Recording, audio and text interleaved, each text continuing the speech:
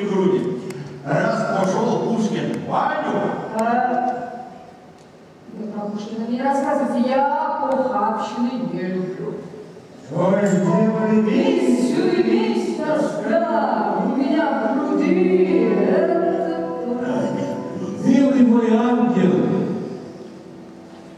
милый мой ангел, меня решительно сплин.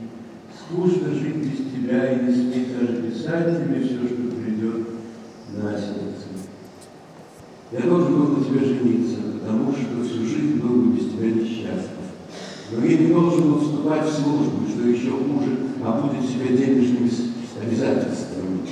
Зависимость жизни семейственной делает человека более нравственным. Зависимость, которая, налагая на себя из честолюбия или из нужды, унижает нас. Теперь они смотрят на меня как на холопа, с которым можно им поступать как им угодно. А Павла легче презрения. Я как Ломоносов не хочу быть шутом ниже у Господа Бога. Но ты во всем этом не виновата, а виноват я без добродушия, коим я преисполнен на глупости, несмотря на опыты жизни. Деньги тебе еще не посылаю, вероятно, послушаюсь тебя и скоро откажусь от управления имением. Пускай они его коверкуют, как знамя, на их век станет. А мы с и Машкой постараемся оставить кусок хлеба. Не так ли? Новостей нет, я сижу дома до четырех часов и пишу. Вечером в клубе, вот и весь мой день. Целую вас и благословляю. Прощай, жду от тебя письма, но будь осторожна. Вероятно, и твои письма распечатывают. Этого требует государственная безопасность.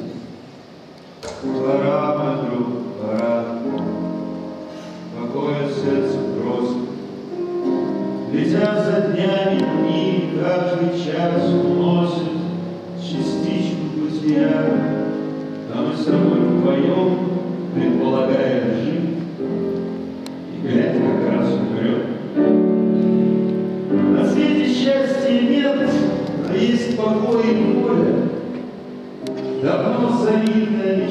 мне доля, Давно усталый враг, замыслил я победу. Победитель тайн, трудов и чистых нет. 1835 год. Рождается второй сын Пушкина Григорий.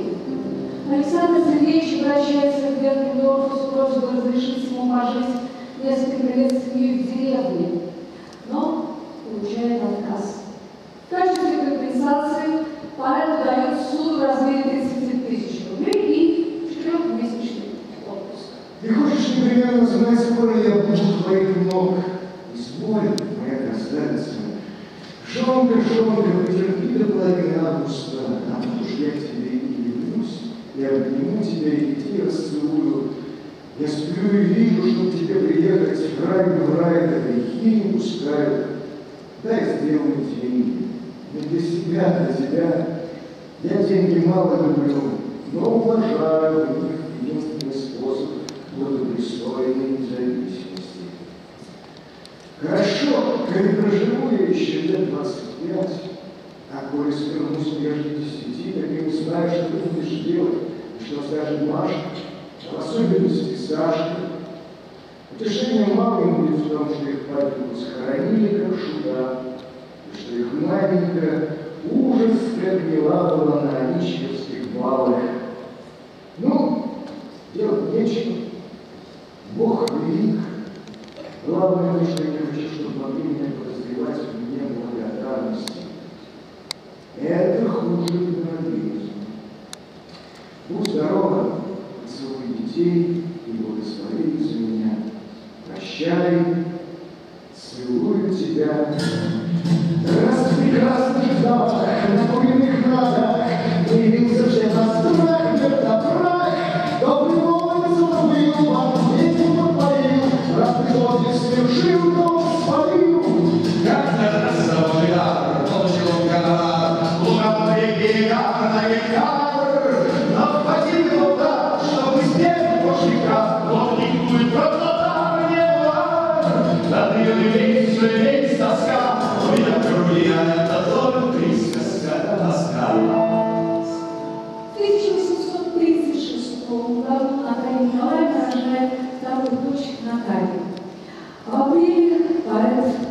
приезжает в Михайловское на похороны матери Надежды Господы в Успенском монастыре. И здесь же выбирает могилу для себя. Пора же мне. Мируйте, о друзья, предчувствую отрадное свидание. Запомните ж, у этого предсказания промчится год, и с вами снова я. Исполнится завет моих мечтаний, промчится год, и я явлюсь к вам.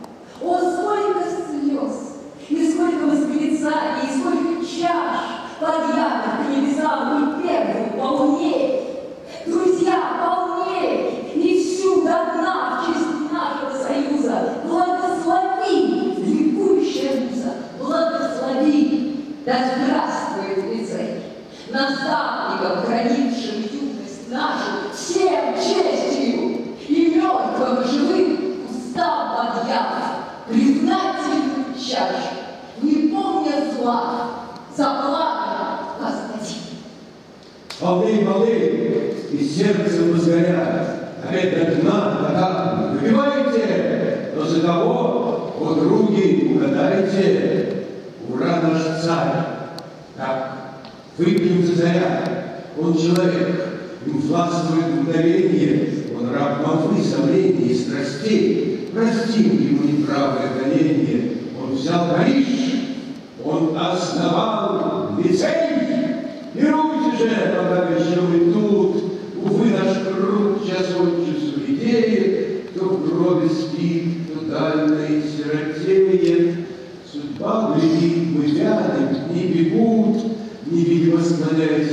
Владению, мы близимся к началу своему. Кому же из нас от старых день лицея Торжествовать придется одному? Несчастный друг, среди новых поколений, Докучный гости лишний и чужой, Он вспомнит нас в дни соединений, Закрыв глаза дрожащей рукой.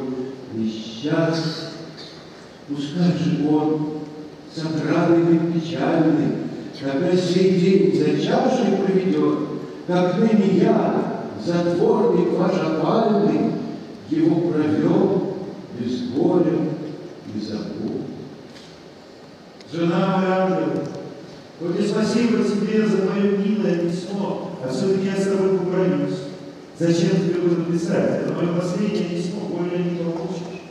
Ты меня хочешь принудить приехать к тебе прежде 26-го? Это не делай. Бог поможет, современник и без меня выйдет, а между тем у меня у самого душа в уходит, как вспомню, что я журналист. Будучи еще порядочным человеком, я получал уж полицейские выговоры и тому подобное. Что же теперь со мной будет? Черт догадал меня родиться в России с душой и талантом. Весело, нечем сказать. Прощай, будьте здоровы, целую тебя. В ноябре 1836 года Пушкин получает три экземпляра анонимного письма, в котором высказан пакостный намек на связь Натальи Гончаровой с бароном Дантесом. 10 января 1937 года, 1837 года состоялась Гончаровой. Однако ухаживания Дантеса за Натальей продолжались. Из книги Юрия Лотмана друзья усматривали в поведении Пушкина неоправданную ревность, даже невоспитанность и винили африканскую кровь, которая текла в его.